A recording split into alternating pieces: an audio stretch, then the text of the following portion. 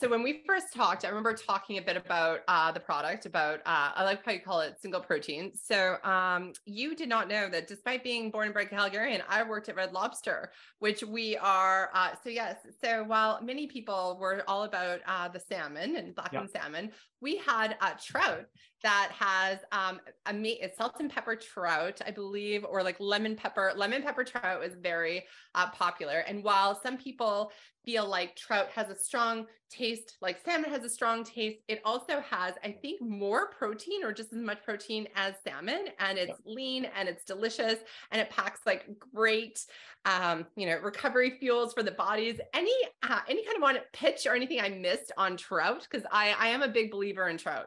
Yeah, so so very uh, thank you for being a believer. Um, it's uh, yeah that that's big. We we like trout for a lot of reasons. Um, a lot of them that you mentioned in terms of interchangeability with salmon. It's it's almost identical. Like a, a the the average consumer uh, if they saw a fillet of steelhead trout and they saw a fillet of Atlantic salmon, they'd have a very difficult time knowing which is which. Uh, and and I would venture a guess to say more people would actually pick the trout because it's got a bit of a deeper red color to it, uh, so it, it looks nicer.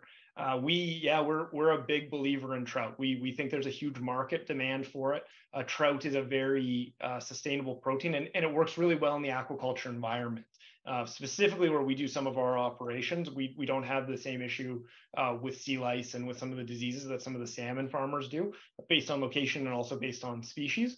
And so we love it and, and we want more people to eat trout and we think more people will because uh, we've got pretty big growth plans to, uh, to, to not not take over the salmon market, but there is growing demand for consumers to eat healthy and sustainable protein. Uh, our protein happens to be really close to the market. I mean, we're our marine sites are in Newfoundland and Nova Scotia. Um, our competitors are bringing the same product from Norway and Chile.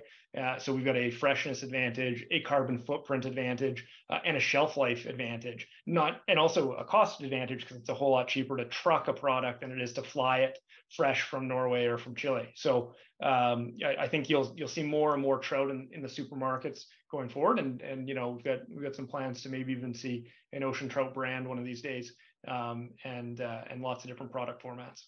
I love that. That makes me really excited. Um, I've been involved a bit with um, the Dalhousie uh, Agri-Food Analytics Lab and oh, cool. looking at the food pricing report for 2023 and, uh, you know, speaking a bit about also finances and budgeting uh, for consumers and what do you do in the face of you know 10.3 10.2% of food inflation for 2022 and the biggest thing is like listen, we're not sure, like we can't prove at this point um, whether or not there is greedflation in the markets or not, whether or not grocers are taking advantage of you know the higher inflationary times to pass through even more uh, costs um, to consumers through prices. But one thing that we are recommending is like hey like be flexible if you yeah. go and you're like hey we'd like some fish today like go and like look what's you know what's fresh what's cost effective you know shopping local obviously has some advantages both from not only the pricing um, but also you mentioned shelf life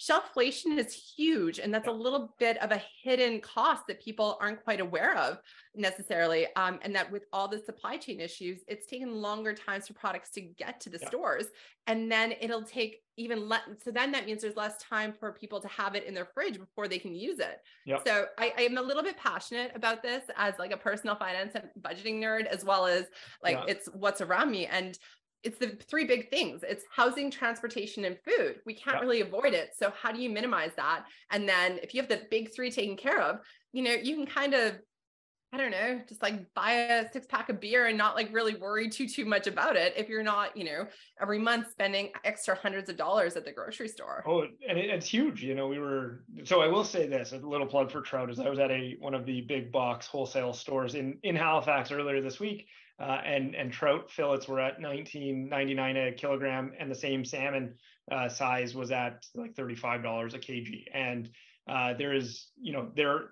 I, I would suggest the next time you or, or any of your listeners are at said big box store, give the trout a try because uh, yeah. I think most people would be really pleasantly surprised by it.